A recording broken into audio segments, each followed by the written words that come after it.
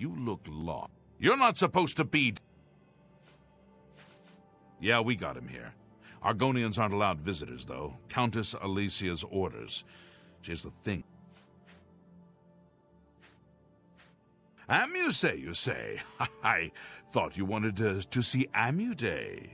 He's off limits. Amuse, though, is just down the hall. Uh, make it quick.